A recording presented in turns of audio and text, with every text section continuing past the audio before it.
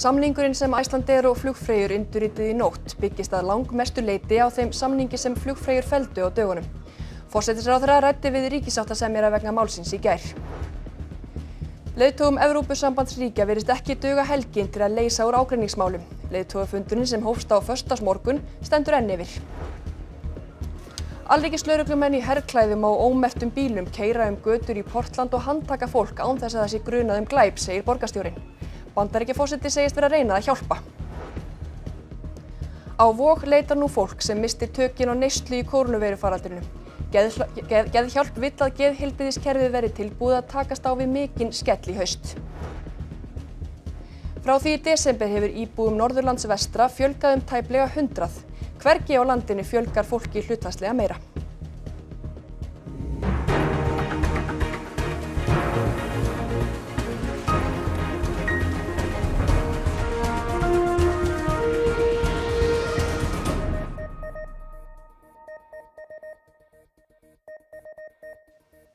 Komið í sæl.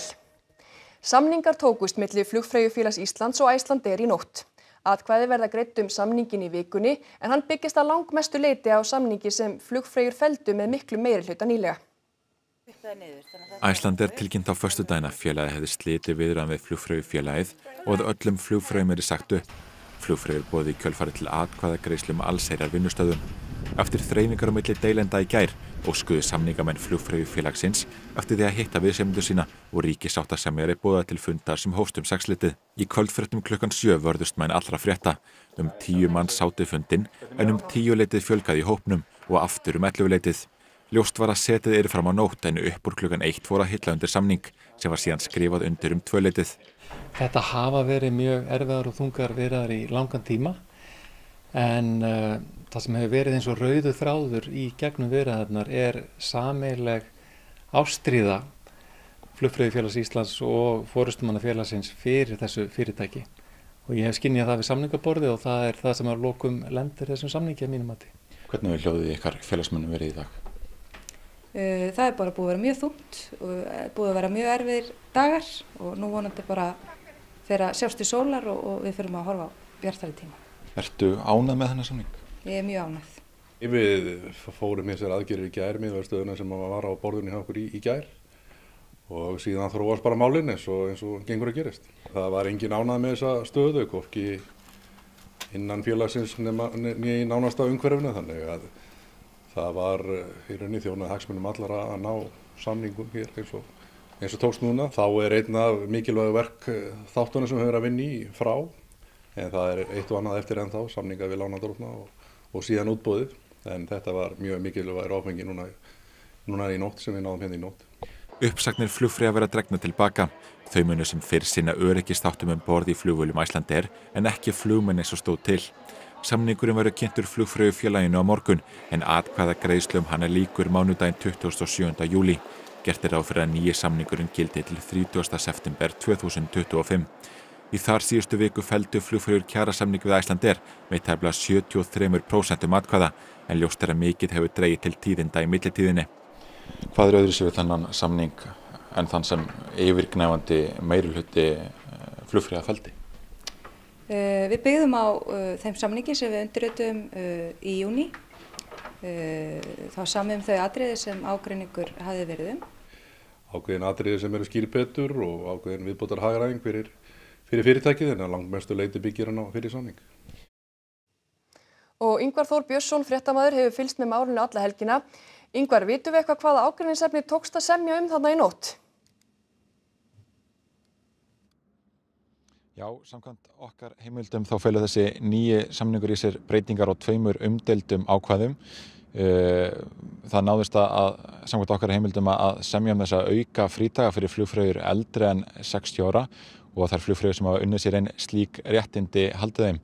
Þá segja heimildir að einni hafi verið samið um þessa svo kallu 6 daga reglu sem hverður á um að ekki með að setja flugfröður á vakt samfelt fleiri en, eða vera á skrá samfelt fleiri en sex daga í, í röð og að þeirri reglu að breyta í sjö daga reglu en samhliða miklum breytingum á frídaga og kvildardaga fyrirkomulagi. Þá er jáfnframt kveðið á um já, aukið samstarf um hagraðinga aðgerðir en flugfröður hafa haldið spjölunum þjætta sér í dag enda á að kynna samningin fyrir félagsmönnum á morgun. En við rættum við Katrínu Jakobsdóttur fósettursáðura fyrir í dag. Hún fagnaði því að máli hefur leist við samningaborðið og sæðist hafa verið í samskiptu við ríkisáta sem er að síðustu daga vegna málsins. Hún hefði eins og verið ekki rætt beint við Bóa Nils Bógarsson, forstjóra Æslandir síðustu daga. Þessi deila auðvitað átt að bara leysast við samningaborðið og þar leistist hún á endanum.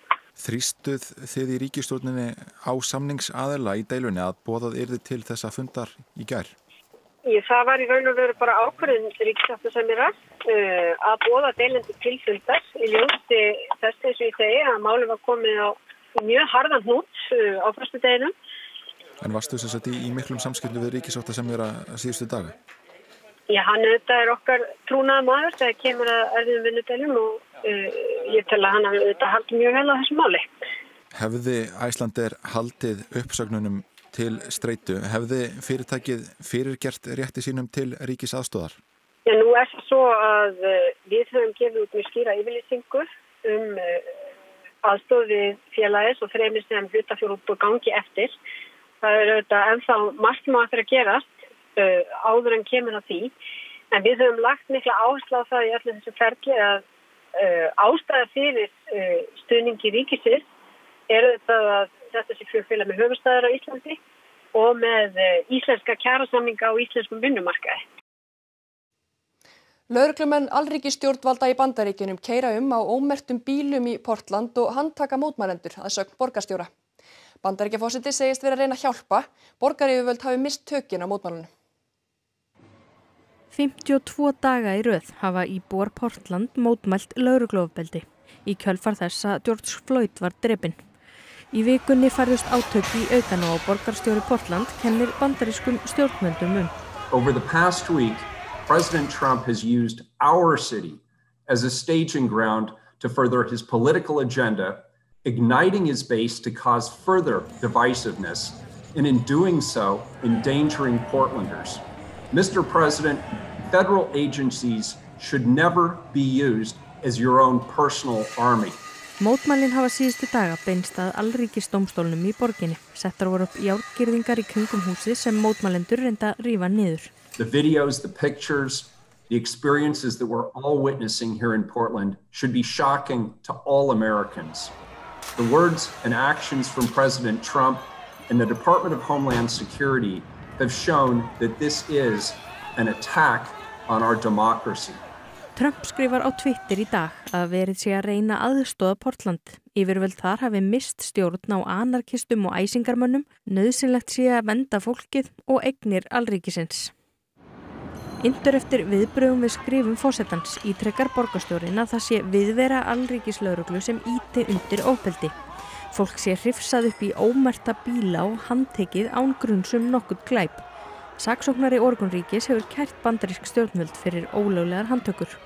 Vílar segir að framferði stjórnvalda sé bein árás á líðræðið frá ríkistjórn Trumps sem njóti sífælt minni vinsalda samkvæmt konunum. Fossettinn fekk einmitt óblíðar móttökur á sínum eigin golfvelli í virkinu í gerðmorgun þegar hann skrappþanga til þess að spila smá golf. Tvöfalt fleiri hafa leitað til, til geðhjálpar í áran á sama tíma í fyrra. Á vok kemur nú fólk sem mistir tökin á neyslu í faraldinu. Síðastlinar vikur hafa óvenju margir leitað á geðdeild landsbítalans. Frá þessu var greint í fréttum okkar í síðustu viku. Samtök sem styðja við fólk með geð og fíknivandamál verða líka vörfið að fleiri hafi þörf fyrir aðstóð. Við finnum fyrir því að fólk á erfiðara með að fá aðstóð, það er álag allstaðar, bæði inn á geðdeildunum en líka á helsugjæslunni. Strax í upphafi faraldursins var starfsfólk geðhjálpar vart við aukna eftirspurn eftir þjónustu. Þá var einn ráðgjafi starfandi hjá samtökunum og til að bregðast við var ákveðið að bæta við öðrum. Til samtakana leitar nú nýr hópur fólks sem glýmir við andlega vanlíðan en ekki beinlinis geðrænan vanda. En á sama tíma er líka að stekka svo hóp sem hefur verið í þjónustu og notandi í helbriðskerfinu en hefur dotti úr þjónustunni þegar faraldurinn byrjaði. Þannig að það fólki mikið einangrað og veit í raun og verið ekki alveg hvert á að leita. Þjónusta skertist víða á meðan faraldurinn reyði við hér. síðustu vikur hefur líka fjölgað í hópi þeirra sem leita aðstóðar á vogi. Það var mikið að gera hjá okkur núna í síðustu viku á vogi og margir sem er að, núna að banka dyrnar hjá okkur. En fyrir í sumar var talsvita fólki sem bara e, til dæmis kom ekki innlegning þó þau ættu innlegnan tíma en það er greinilega breytast núna. Sumt fólk misti tökin á neyslunni þegar daglegt lífið þess raskaðist í faraldrinu. Sigriður óttast að álægið á geðhelbriðiskerfið aukist til muna í haust þegar margir verða atvinnuleysir. Ég hugsa að vera mjög mikið álag og ég held að við þurfum að öll einhvern veginn sem er störfum í helbriðiskerfinu að vera tilbúin að bregðast við því. Við ætlum allavega að hafa augun opinn fyrir því að hvernig hvort að það aukist vandin eða aukist eftirspurnin í kjölfari. Það er nú oft kannski þegar það er svona, þessu hremmingum sleppir. Það er hásumar, starfsemi voks liggur niðri að hluta og geðhjálp lokar næstu tvær vikurnar.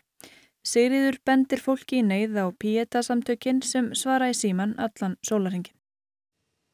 Leðtogum Evrópusambandsríkja verðist ekki ætla að döga helgin til að leysa úr ágreiningi. Þau sitja enn á fundi í Brussel þriðja daginn í rauð. Eftir tvo heila daga á niðurstöðu voru leðtogarnir hæfilega bjart sínir í morgun. Es gibt viel guten Willen, aber es gibt auch viele Positionen und so werde ich mich mit dafür einsetzen, aber es kann auch sein, dass es heute zu keinem Ergebnis kommt. Þegar 27 leðtogar hittast þarf að gera ýmsar málamiðlanir. Hver og einn vill snúa aftur heim með góðar fréttir fyrir sína kjósendur. Kórónuveru faraldurinn geysar enn og mörg Evrópuríki hafa orðið illa úti. 750 miljardar evra bjargráðsjóður er eitt stærsta ágreiningsefnið. Fjögur ríki, kölluð hinn sparsömu, Östuríki, Holland, Svíþjóð og Danmörk vilja stærri hluti sjóðsins verði lán en lagt var til.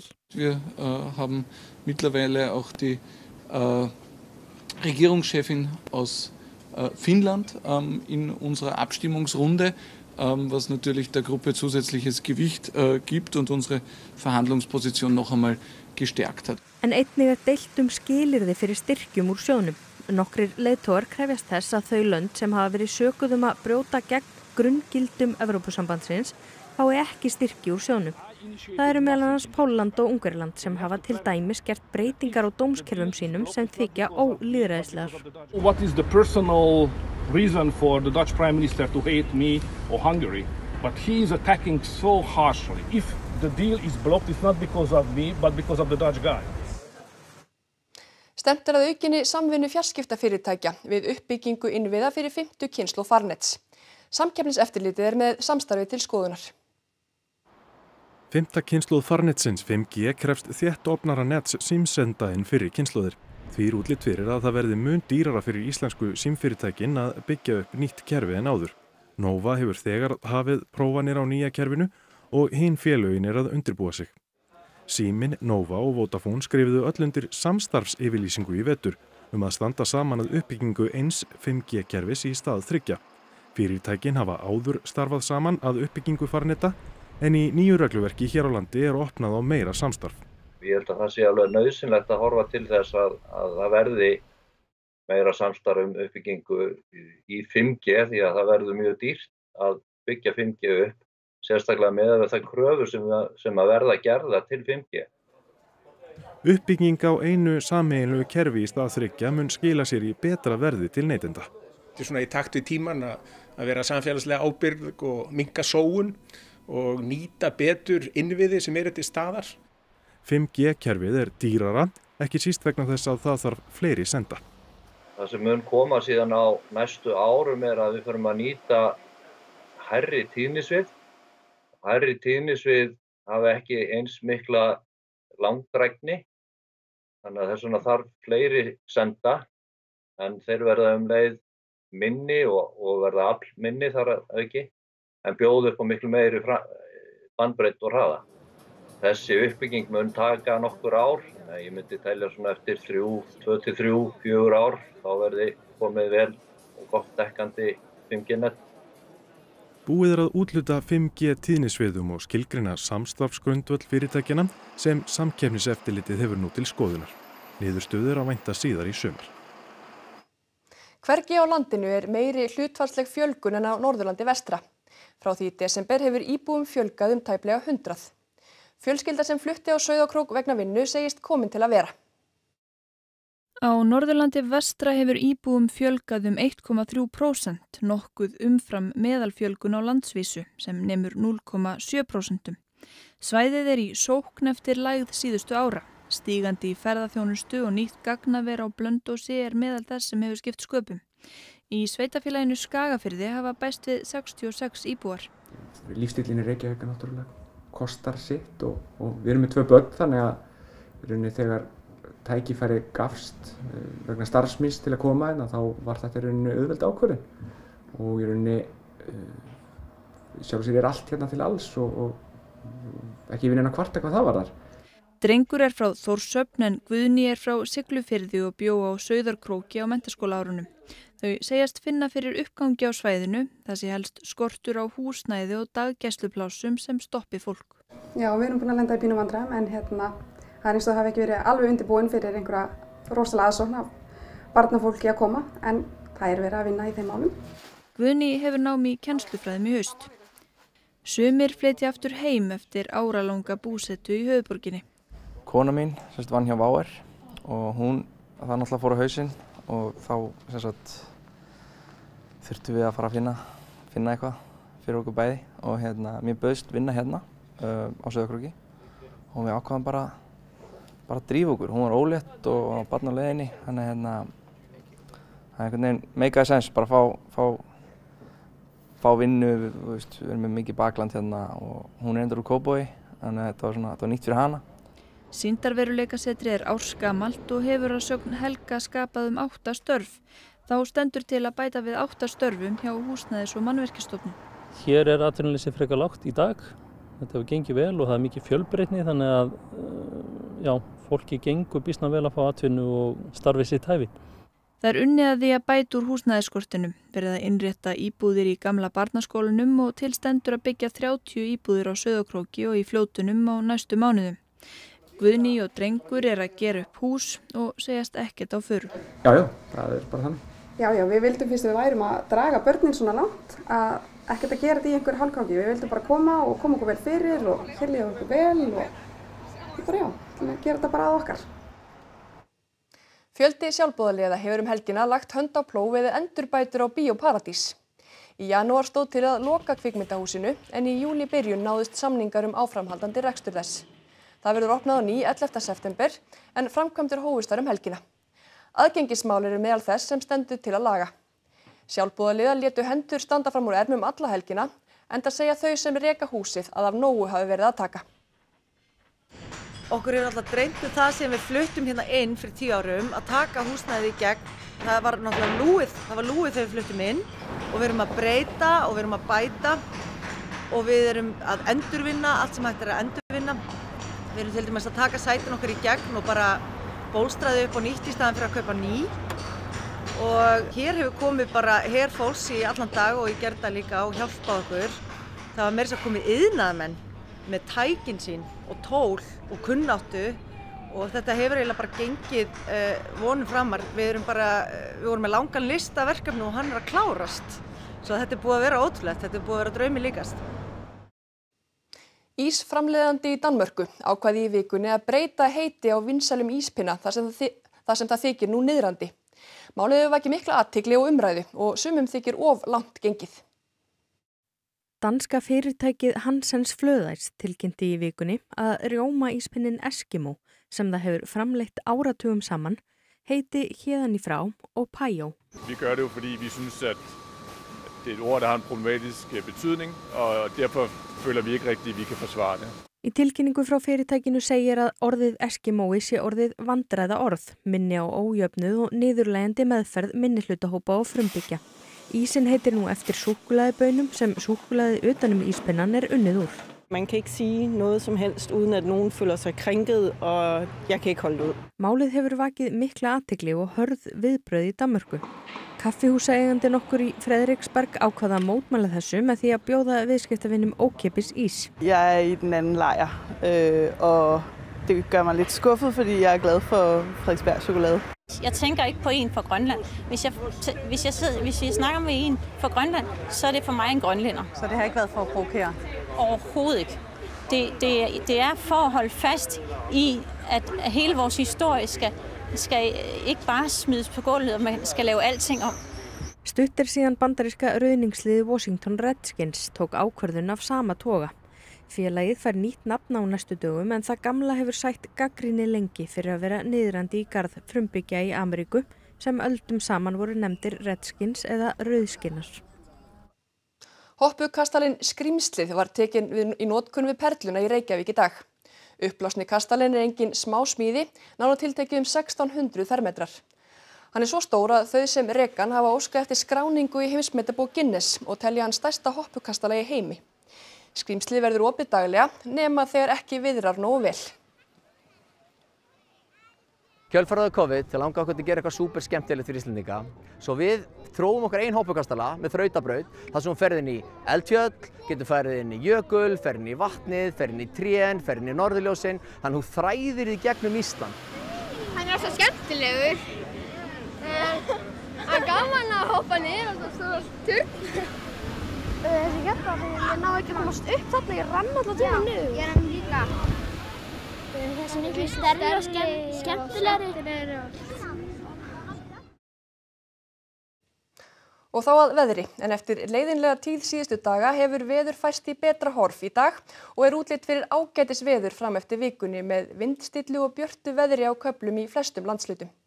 Theodor Freyr Herfarsson veðurfræðingur fer nánar yfir veðrið að lokkum íþróttum og það er Haugur Harðarsson sem sér um íþróttafréttir kvöldsins. Það var toppslagur í Pepsi Max deild Karla í fótbolta í kvöld þegar Fylkir tók á móti Íslandsmeisturum Káur í Árbæ. Chelsea og Manchester United mættust á Wembley í kvöld og börðust þar um sæti í úrslitaleg ennsku byggarkeppnar í fótbolta. Og við kíkjum á laugavegslaupi sem framfór í gær, sjáum bókfim í hávaðaróki og tökum stöðun á marathondegi hjá bestu kilvingum landsins. Og þá rifum við upp helstu fréttir þessa fréttatíma. Samningurinn sem Æslandeir og flugfreyjur undirrituð í nótt byggist að langmestu leiti á þeim samningi sem flugfreyjur feldu á dögunum. Fósettisráðra rætti við ríkisáttasemjara vegna málsins í gær. Leðtogum Evrópusambandsríkja virðist ekki döga helgin til að leysa úr ágreiningsmálum.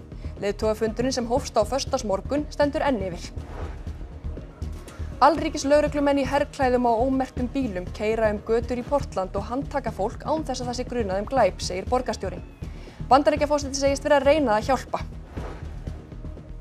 Á vóg leita nú fólk sem misti tökin á neyslu í kórnuverufaraldrinu. Geðhjálp vill að geðheilbriðiskerfið verið tilbúið að takast á við mikinn skell í haust. Frá því í desember hefur íbúum Norðurlands vestra fjölgað um tæplega hundrað. Hvergi á landinu fjölgar fólki hlutfarslega meira. Næstu frétti verða sagður í útvarpi klukkan 10 í kvöld og vefurinn okkar rú.is er auðvitað upp, uppfærður allan sólarhingin. Við minnum einni á að hægt er að horfa á þetta, þennan fréttatíma, alla hinna og annað fræðslu og skemmtiefni í RÚF appinu. En þessum fréttatíma er lokið, við þökkum ykkur fyrir samfélgin um helgina. Verðið sæl!